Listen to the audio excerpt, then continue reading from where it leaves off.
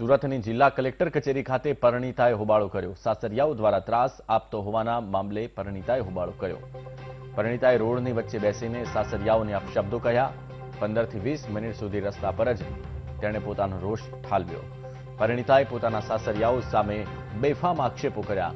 Police ઘટના સ્થળે પહોંચી પરિણીતાને પોલીસ સ્ટેશન લઈ ગઈ હતી. પરિણીતાએ કેવી રીતે જાહેર રસ્તા પર સાસરિયા પક્ષ પર આરોપો લગાવ્યા. વધુ માહિતી આપશે સંવાદદાતા શૈલેષ ત્રિવેદી. શૈલેષ, શું હતો સમગ્ર મામલો? સુરતના કલેક્ટર કચેરી પર આજે એક વિચિત્ર ઘટનાક્રમ જોવા મળ્યો હતો. બપોરના સમયે એક મહિલા અચાનક કલેક્ટર કચેરી ધસી આવી હતી અને તે રસ્તાની વચ્ચે ટ્રાફિકની વચ્ચે જ બેસી ગઈ હતી અને પોતાના સાસરિયાઓને બેફામ ભાંડી રહી હતી અને એના સાસરિયા તેને ખૂબ જ હેરાન, પરેશાન કરી રહ્યા હોવાના આક્ષેપો કરતી હતી.